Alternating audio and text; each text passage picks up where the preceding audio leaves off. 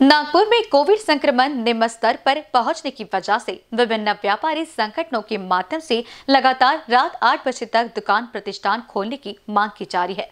वहीं दूसरी ओर जानकारी मिली है कि जिला प्रशासन भी छूट देने का मन बना रहा है, लेकिन इस संदर्भ में अब तक कोई निर्णय नहीं लिया गया है। हालाँकि जिला प्रशासन की तरफ़ से प्रधान सचिव को भेजे पत्र में कहा गया है कि 9 से 15 जुलाई के बीच नागपुर शहर में संक्रमण दर शून्य दशमलव तैतीस फ़ीसदी और ऑक्सीजन बेड की उपलब्धता निन्यानवे दशमलव पचास फ़ीसदी है।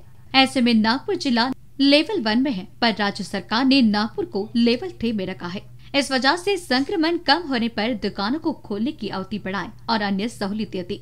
नागपुर जिला प्रशासन की ओर से लिखे गए इस पत्र को लेकर जब पालक मंत्री कार्यालय से संपर्क किया गया तो उन्होंने भी संबंधित मसले पर मंथन शुरू होने की जानकारी दी है। साथ ही कहा है कि अब तक इस मामले में कोई निर्णय नहीं हुआ है। हालाँकि रियायत को लेकर राज्य सरकार के दिशा निर्देशों पर ही नागपुर में कोई कदम उठाया जा सकेगा। कैमरा पर्सन राजकुमार मोहड़ और अखिलेश भारद्वाज के साथ अभिषेक पांसी की रिपोर्ट।